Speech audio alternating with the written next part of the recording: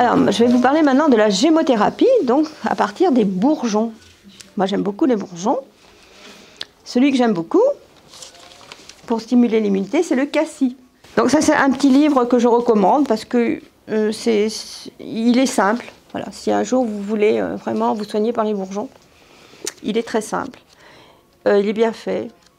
Et vraiment, c'est en fonction de, des problèmes qu'on a. c'est Stéphane Wassard et moi je l'aime bien. Et il est précis en fait. Et donc les bourgeons, on va recueillir les bourgeons à un certain moment. On va les mettre dans de l'eau, de l'alcool et de la glycérine. Et puis après, on va filtrer au bout d'un certain temps. Et on va utiliser en fait ces bourgeons en fait par, par cure, hein, souvent, des cures. Donc quelquefois qui sont longues, hein, ça dépend ce qu'on a à soigner, à accompagner. Et le cassis, parce que vous connaissez peut-être le cassis-feuille, le cassis-fruit, les plantes. Hein. on n'a pas du tout euh, les mêmes indications entre le cassis-feuille et le cassis-fruit. Cassis-fruit, c'est pour les problèmes circulatoires. Cassis-feuille, c'est pour les douleurs. On n'a pas les mêmes principes actifs. Et dans le bourgeon, c'est encore autre chose. Quoi. Ça n'a rien à voir. C'est très puissant. Et ça, le cassis, on peut le comparer, si vous voulez, entre guillemets, au corticoïde. Voilà. Ouais. Si vous prenez le matin, le cassis, hein, ça agit sur les surrénales. Donc il faut prendre le matin, parce que si vous prenez le soir, ça, peut en fait provoquer des insomnies. Mais le cassis, en fait, c'est un bourgeon, je ne sais pas comment il est vendu ici, mais c'est un des très bons bourgeons que tout le monde peut prendre, en fait. Anti-inflammatoire, anti-allergique, euh, adaptogène, enfin, il est vraiment extraordinaire. Et donc le cassis, en fait, on peut l'utiliser comme revitalisant énergétique et donc dans les défenses immunitaires qui sont effondrées. C'est un draineur en plus. C'est vraiment un, il agit sur le foie, sur la thyroïde. C'est vraiment un très très beau bourgeon. Pour les gens qui ont des problèmes, moi je le conseille beaucoup aussi, des douleurs articulaires. Voilà, c'est et c'est un adaptogène. Quand on est fatigué, il faut faire une cure de cassis. On peut faire une cure de deux mois, hein, facilement, hein. le matin. Et bien les défenses immunitaires Associé quand même, voilà. Si vraiment l'immunité est très basse, il faut autre chose, moi, pour moi. Il n'est pas suffisant. Alors justement, il y a l'églantier, Rosa canina.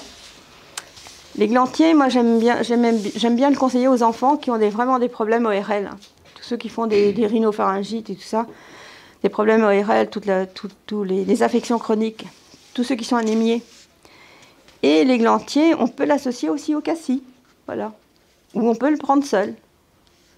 Ça, on peut le prendre par exemple le midi. Par exemple, quand on a plusieurs bourgeons, il vaut mieux peut-être utiliser un bourgeon le matin, un bourgeon le midi, un bourgeon le soir. C'est vrai qu'il y a des formules, on a des formules, mais moi je crois qu'il faut les dissocier. Je préfère les dissocier. Voilà. Vous pensez que c'est mieux de les prendre euh, Certains. Ouais, euh, ben, quand c'est le complexe, bon, allez, la personne qui veut pas euh, s'embêter. Mm. Mais autrement, il y en a certains qu'il faudra prendre le matin, le noyer, il faudra prendre le soir. Il vaut mieux, voilà, c'est ça. Et quand vous dites enfant, à partir de quel âge du coup, Alors, voilà, toujours pareil, parce qu'on n'est pas tous d'accord. Ben ouais, c'est ça. Eh ben voilà. Alors bon, ben, moi je crois qu'il faut, suivant le laboratoire, parce que moi, j'ai un pharmacien, un confrère qui me dit pas avant tel âge. Ça, dépend aussi des bourgeons. Ouais, moi, je trouve. Hein. À partir de 3-4 ans, normalement, c'est une goutte par année d'âge. Hein. Enfin, on a peut-être d'autres formules, mais à partir de 4-5 ans, on peut hein, quand même. Et maximum 15 gouttes par jour quand c'est les bourgeons macéramères, puisqu'on a deux types de bourgeons en fait. Voilà. Et l'églantier est extraordinaire aussi. On a de très bons résultats pour ces, enfants qui, ont des rhinopharyngites hein, et des problèmes. Et, il y agit aussi au niveau du poumon. Donc l'enfant qui va à l'école, vous savez, bon, bah, jusqu'à l'âge de 6-7 ans, il, a beaucoup de rhinopharyngite. Hein. Souvent, il ne se défend pas bien. Hein. Mm. Donc on peut lui donner en fait de, l'églantier, Rosa canina. Et il y a un autre, ça j'en parle beaucoup, c'est le noyer. Le noyer qui, en fait, euh, est un très bon bourgeon qu'on devrait prendre tous, hein, je pense, à une période donnée, parce qu'en fait, il intervient sur la flore intestinale.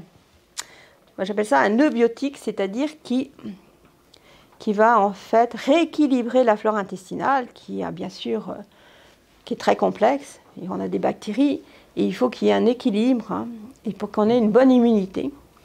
Et ce noyer, on l'utilise quelquefois en cas de diarrhée, en cas de constipation. Et en plus, il intervient aussi, il est très intéressant, moi je pense, pour les maladies neurodégénératives, pour éviter en fait. Puisque ce microbiote euh, intestinal, il faut qu'il soit équilibré. Et souvent, il est déséquilibré. Et du coup, vous le conseillez seul ou avec des probiotiques quand même? Je reconnais que je suis souvent seule, ou avec du laurier noble. Laurier noble, mais en hydrolat. Les, les, probiotiques, les prébiotiques, c'est très intéressant. On nous en sort plein, plein, plein, plein. Ici pour le, vagin, ici pour l'intestin, ici pour la bouche. Moi, je fais confiance au noyer parce que c'est pour tout. Il rééquilibre, en fait. Voilà. Mais c'est vrai que s'il faut peut-être rééquilibrer une flore vaginale, bon, on va peut-être l'utiliser en plus. Oui. Mais du coup, c'est peut-être intéressant de prendre le noyer avant et après. ah oui, franchement, oui. Ouais, pour moi, oui. Et le laurier noble, hein, c'est en hydrolat, moi j'aime beaucoup. Parce qu'en fait, même pour la, pour la. Euh, je conseille beaucoup le laurier noble en hydrolat pour le, la bouche. Parce que souvent, la flore est détruite, en fait. Voilà. Et souvent, il y a des mycoses, on a des infections, et le laurier noble rééquilibre, en fait. Quand il y a une extraction dentaire, moi j'aime bien conseiller le laurier noble en, en hydrolat au lieu de tous les bains de bouche qui sont utilisés. C'est à queue, trois fois par jour, et c'est vraiment cicatrisant et tout. Ouais. Noble. Par contre, l'hydrolat se conserve très peu. Hein. C'est pas, pas de l'huile essentielle. Ou aussi, quand il y a de l'huile essentielle, une goutte d'huile essentielle dans un petit peu de, de, comment, de miel, et puis on laisse un petit peu en bouche. En fait. Et c'est vrai que ça, bah, oui, j'aime bien le laurier noble, hein, et j'aime bien le noyer. non, le noyer, euh, en plus, euh, ça agit sur le pancréas, ça agit aussi sur le sommeil, quand on fait des... Il y a un sommeil réparateur, il n'y a aucune contre-indication. C'est vraiment... Euh, je pense que la plupart des gens, quand même, ont une fleur déséquilibrée, donc je trouve que c'est intéressant de faire des... On peut faire des deux mois, deux mois, arrêter, reprendre deux mois. Euh, et ça agit sur le pancréas et la rate, et bien sûr, ça dynamise les défenses immunitaires. Il y a un autre bourgeon, c'est le pain. Le pain, le pain à crochet. Voilà, le pain à crochet qui, qui, qui, est utilisé aussi dans les défenses immunitaires, mais autrement qui est très très bien pour l'ostéoporose et puis tout ce qui est articulation, arthrose. En fait, ça aussi, ça pourrait être euh, un autre atelier ou autre chose, toutes les douleurs. Parce que aussi, on a beaucoup, beaucoup de douleurs, je crois, ici. Enfin, on a beaucoup de douleurs d'arthrose Voilà, donc ça. Alors, il y en a un que je ne connais pas trop, mais j'ai trouvé, c'est l'argousier en bourgeon aussi. Je ne sais pas s'il y en a, mais moi, je ne l'ai jamais conseillé. Et aussi, il est adaptogène, il est un peu comme le rhodiol quand on n'est pas bien quand on a du stress, quand on a un petit peu de, burn-out, hein, parce qu'il y en a quand même. Hein. Et, mais c'est un anti-infectieux aussi, hein. c'est un très bon l'argousier. Mais je crois que je ne l'ai pas vu et j'en ai jamais conseillé. Voilà. Et ça détoxifie le foie en plus. Voilà. Et puis, bon, bah, il y a les, les, les, comment, immunogènes, bien sûr, qui va regrouper trois bourgeons. Celui qui n'a pas le temps, moi je comprends qui veut pas s'embêter à prendre un le matin, un le midi, un le soir, qui travaille et tout ça, bon, bah, on peut pas tout faire bien, je crois. C'est pas vrai. Alors, je vais vous parler de la gelée royale. Ça aussi, hein. La gelée royale, on se demandait à quel moment elle arrivait, celle-là. La gelée royale. Comment ça, ah, La fraîche. Euh, bah là, elle est là euh, Il n'y en a pas. pas si on l'a reçue non, elle n'est pas là. Et ça, c'est ah, très intéressant de prendre la gelée royale. Mm. Par rapport au, pollen, c'est encore différent? Oui, c'est encore différent. Ça peut être complémentaire? Ça peut être complémentaire. Mais la gelée royale, c'est vrai, une cure de gelée royale euh, fraîche, hein, c'est bien. Bon, après, on les trouve autrement, mais moi, je trouve que la fraîche, c'est mieux.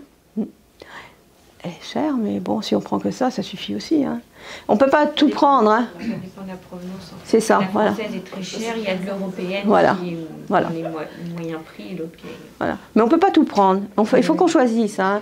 Si vous préférez les huiles essentielles, vous prenez les huiles essentielles. La gelée royale, c'est encore- et c'est très connu, hein, la gelée royale. Et c'est vrai que la fraîche, c'est bon. Et vous, vous avez aucune contre-indication sur la gelée royale? Ouais. Vous avez eu? Ben, Je me pose la question sur les gens qui sont traités contre les cancers. A- Moi, je trouve que les cancers, c'est pour ça qu'il y a des cas, il faut faire très attention. Moi, quand j'ai des gens comme ça, je me pose beaucoup, je me pose une heure, Moi, je la deux, je me pose une heure, deux heures, et je préfère prendre des choses très douces, parce qu'il faut faire très attention. Même après, avec euh, des, hum, des traitements, en fait, euh, il faut faire très attention. hein. La gelée royale est très intéressante au niveau immunité, mais Oui. elle régénère aussi les cellules. C'est ça. C'est pour cellules- ça qu'il vaut mieux autre chose. Mm. On va pas prendre de risques, hein. pas du Ouais, tout. mais c'est vrai que les gens Ouais. qui sont sous traitement on m'a dit de prendre la gelée royale. Alors, Non, moi je crois qu'il vaut mieux autre chose. Moi je voulais avoir votre avis. Il y a autre chose, il faut pas, parce que ce que je disais tout à l'heure, je ne connais pas tout. Il faut toujours douter. Et quand on a un doute, il faut pas. Voilà. Oui, pas de doute, c'est- il faut pas. Le problème de la royale, c'est qu'en fait, les gens associent ça à du miel et donc pour eux, C'est ça, mais non, justement, ce n'est pas du miel. Bah voilà. Ce n'est pas du miel. Le propolis, ce n'est pas du miel. Bah, voilà. C'est ça. Et je trouve, eh ben, on peut discuter. Et moi, tous ces gens-là, en général, je les prends, je prends du temps. Bah, Et parce que après, il y a aussi tous ces gens qui ont des traitements. hein. Il y a certains produits qu'on ne peut pas leur donner, même le desmodium et tout ça, il faut faire très attention. Avant, après, pas pendant. Donc, on est prudent. Voilà. Il faut être prudent, c'est tout. Non, non, non. Ouais, vous êtes d'accord. Ah oui, oui. Je préfère être prudente. bon, bah, il y a le propolis, hein, qui est un antiseptique immunostimulant. Hein, ça, c'est aussi un produit de la ruche. hein. Et il y en a aussi. hein. Bon, bah, je vais parler maintenant des oligo-éléments. Un peu d'oligo-éléments, hein, très peu. hein. Il y a le zinc, hein, bien sûr, qu'on dit quand même, qu'on conseille en ce moment. Et ce serait intéressant de, prendre aussi le zinc dans cette période encore difficile, bien sûr. Donc ça, on peut le trouver facilement. Oh ben, ça existe en solution, en bouteille. Ouais, Catalion. Moi j'aime bien Catalion. Ouais. Euh, zinc. Il y a un mélange. Il y en a certains mélanges. Moi je trouve. le zinc, c'est parce qu'après il faut prendre de la vitamine C et de la cérola. On conseille quand même ça. Bon, le zinc. euh, Alors, le- cuivre argent, c'est vrai qu'autre, enfin c'est vrai qu'on- quand on prend le cuivre argent, anti-inflammatoire, euh, l'argent pour l'affection et tout, c'est vrai qu'on utilisait ça. Maintenant, c'est préconisé plus le zinc. Bon, on va prendre le zinc. Voilà. Puis on va prendre autre chose à côté. On va prendre de la vitamine C. On va prendre. Puis bon, après, ça va dépendre si on est vacciné, n'est pas vacciné. On peut accompagner. Parce que si avec la vaccination, on va accompagner. On va essayer d'éviter les effets secondaires de la vaccination. Ouais. On a le glutathion. On a autre chose. Hein pour les métaux lourds et tout ça. hein. Donc euh, après, il y a plein de conseils, voilà. Ça, je pense. Et puis après, tout le monde n'est pas d'accord. C'est très difficile, mais bon, bah, il faut poser le pour et contre, mais on peut en fait, euh, on peut quand même. euh, moi, je sais qu'en homéopathie, j'accompagne les gens qui se font vacciner, Ils sont, pardon. qui sont vaccinés, c'est-à-dire euh, le tuya, silicea, un peu d'apis et de gelsénium. Mais à côté, moi, je crois qu'il faut quand même aussi du zinc. Enfin, il y, a- il y a plein de petites choses, quoi. Voilà. Et la fameuse vitamine D. Ah, la vitamine D, bien sûr, ben oui, ça, je vais en parler, hein, parce que là, il la faut. hein. Parce que la vitamine D, euh, la vitamine D, en fait, on n'a pas eu beaucoup de soleil, hein, je pense, cet été, ici. Donc, on n'est pas allé quand même euh, mettre même nos bras. Euh, elle est synthétisée quand même grâce, quand même grâce au soleil. Donc, il y a beaucoup, il y avait eu une étude où on donnait à partir de 60 ans, les médecins devaient donner des ampoules à toutes les personnes à partir de 60 ans. Il fallait en donner plusieurs. Là, je ne sais pas, ça a changé. Je ne sais pas On pourquoi. en donne 4 fois par an normalement. Mais, les avoir sans ordonnance? Alors, pas l'ampoule. Bah avez non. Mais vous avez de la vitamine D, en fait, qui est, qui est beaucoup. Enfin, moi, je préfère la vitamine D naturelle, hein, comme ça. hein. Et vous prenez tous les jours, hein, c'est tout. Du moment que vous en avez. Il ne faut pas en abuser, c'est tout. Il ne faut pas en abuser. Voilà. Mais on en a besoin. Donc ça existe sous forme de comprimé Parce que moi Non, je connais que les ampoules. des gouttes ici. Des gouttes ici. Ouais.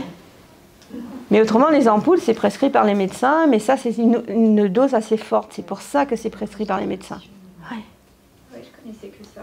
Mais ici, enfin oui, il y a la vitamine qui est d'origine végétale, hein, je crois. Et la végétale et celle de la voilà. laine de mouton. Et laine de mouton. Et il faut prendre tous les jours. La pro... ben... C'est la provenance.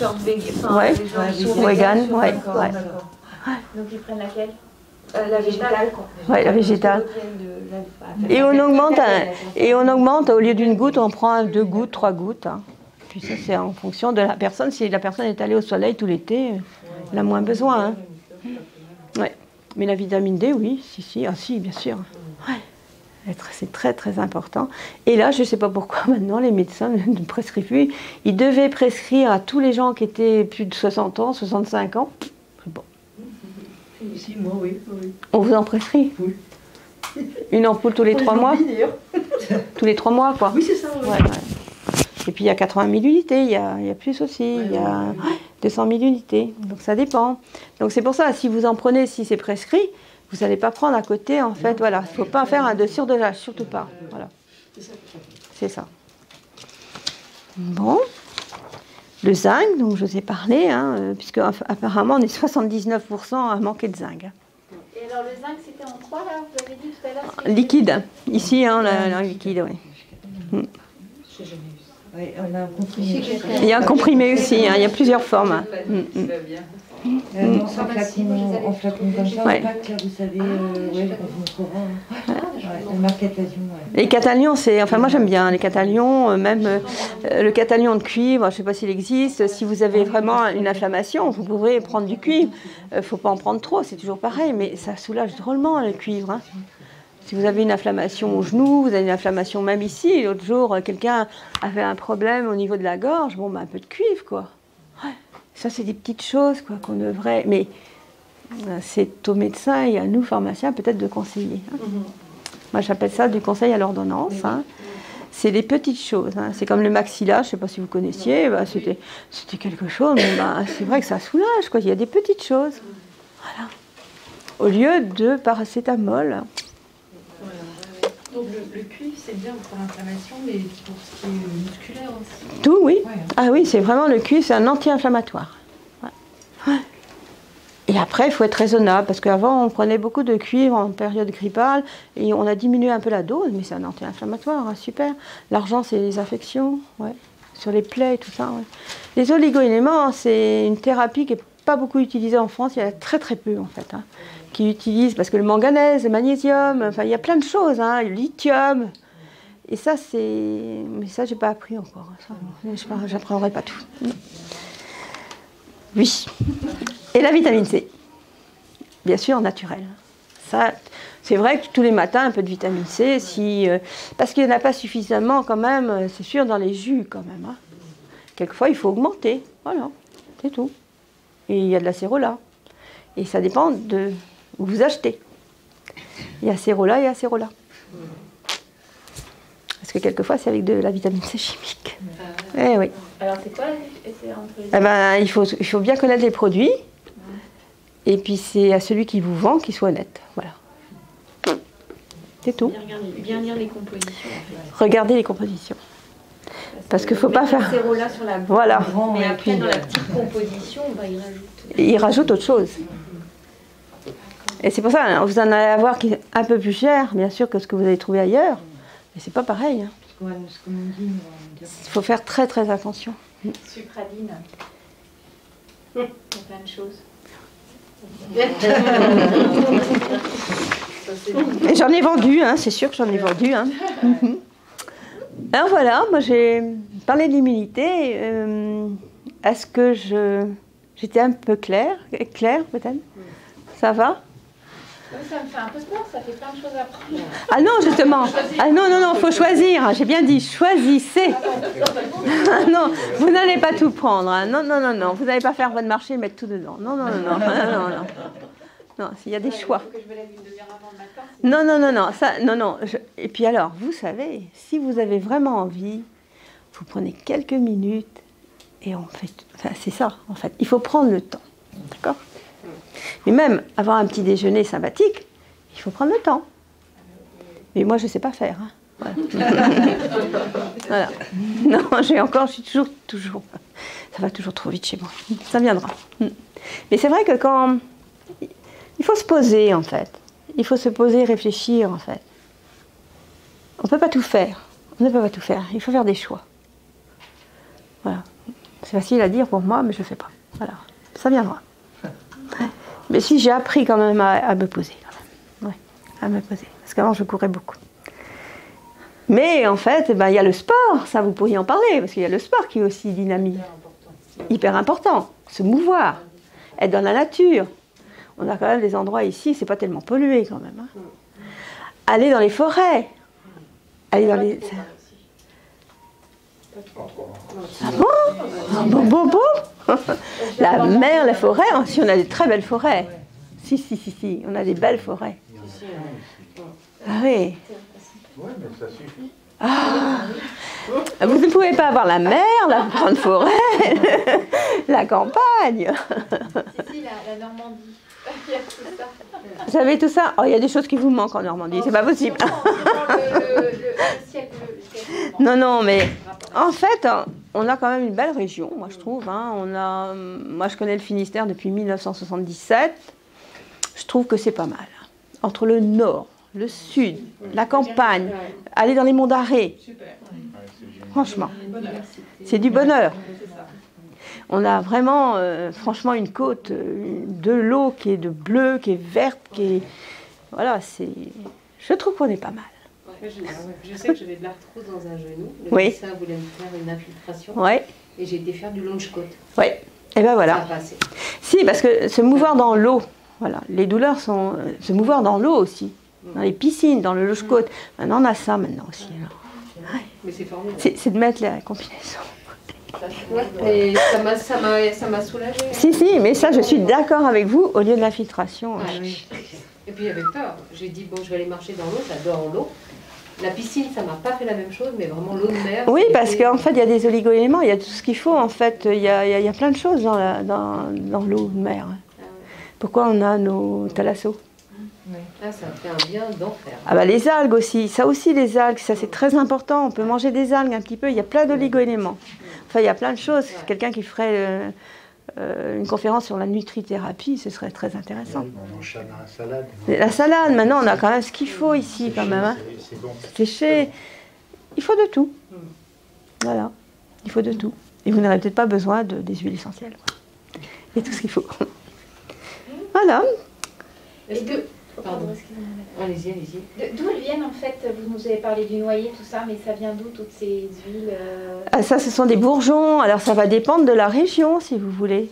C'est voilà. français ou pas tous ces... Ah oui, bien sûr, on a quand même des bons bourgeons. Hein. Ah oui, oui. Ah oui. On en a quand même en France, ici. Oui. On en a en Belgique, mais on en a en France. Et puis, bon, bah, il y a certains qui vous disent d'où ça vient. Hein. D'où ça vient, euh, d'où viennent les bourgeons, bien sûr, oui. Ah si. Moi, j'ai quelqu'un aussi euh, que je connais, ben, elle me dit, moi, j'ai pas ces bourgeons-là en ce moment. Bon, ben, on n'a pas, puis c'est tout. Si, et puis bon, ben, on Herbal Gem, en fait, c'était Philippe Andrian, c'était mon prof qui avait ça. Euh, je ne sais pas si, mais il doit avoir aussi des bourgeons en France, des bourgeons en Belgique, en fait. c'est ça.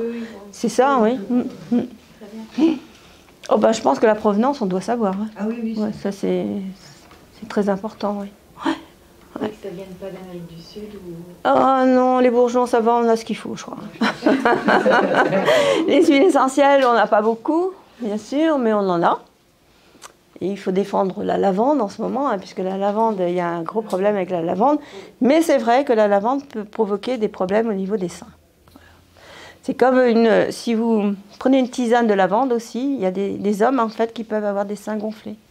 S'ils en prennent tous les jours, tous les jours, tous les jours. Donc c'est pour ça. Il faut doser, c'est tout. Hum, la lavande, est, euh, depuis quelques années, sur la sellette. Hein. Même en diffusion? Non, mais attendez, puis même si vous utilisez la lavande de temps en temps, c'est tous les jours en fait. Ce sont des molécules, donc si vous répétez tous les jours, ça rentre dans le corps. Voilà, c'est ça, c'est tout. Non, non. Et puis, bon, bah, il y a des, huiles essentielles qui sont contre-indiquées en cas de cancer hormonodépendant. Ça, on les connaît, hein, de plus en plus, hein, on les connaît. Ouais. Ben, on utilise autre chose. Mais même les bourgeons, c'est pareil. Mais on le sait. Il y a de plus en plus d'études. Hein. Très important. Il y a peut-être plus d'études que fois, je me dis, que sur la chimie. Enfin bon. on ne connaît pas tous les effets secondaires de la chimie, mais bon, voilà.